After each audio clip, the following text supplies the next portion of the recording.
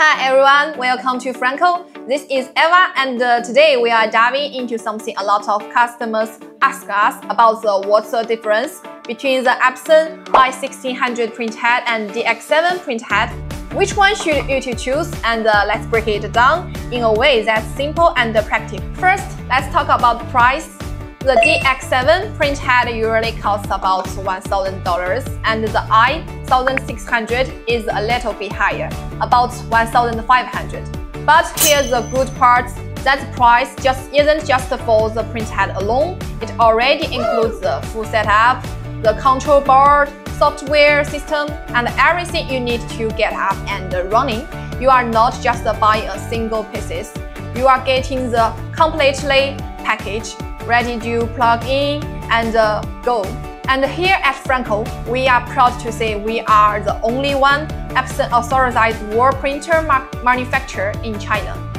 Every print head we use is officially tested and certified by the Epson Lab. So quality and compatibility are 100% guaranteed. Second, about the lifespan, if you take good care of the X7, it can last 6 to 12 months sometimes even up to 50 months, with proper maintenance.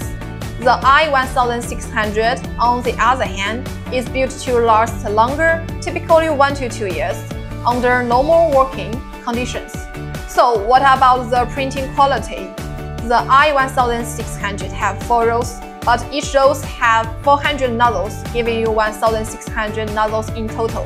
And it can produce even smaller droplets just 3.5 picoliters, and the Y600 giving you final details, smoother gradients, and sharper image overall. Now let's look at the configuration.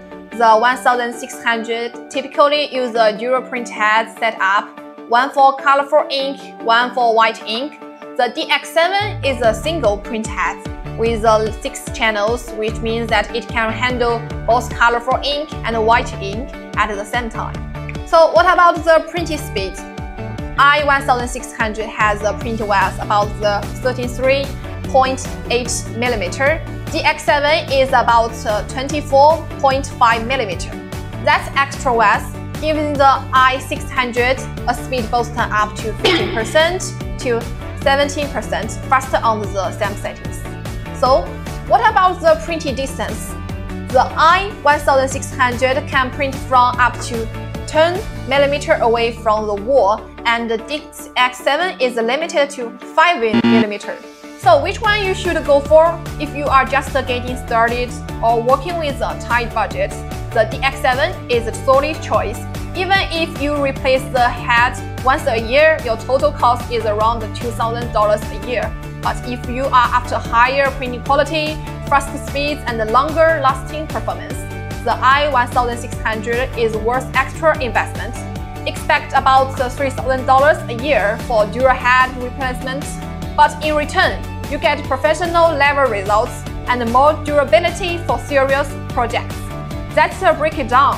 If you want to see real print samples, or need help choosing the right setup, just uh, reach out to us here at Friankor. Thanks for watching and uh, don't forget to follow for more wall printer tips and tech insights.